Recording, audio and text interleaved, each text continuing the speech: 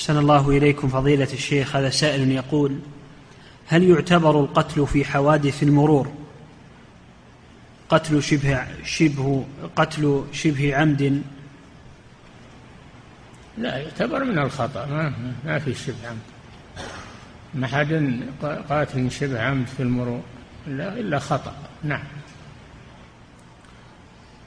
إعداد مشروع كبار العلماء بالكويت. أعزها الله بالتوحيد والسنة.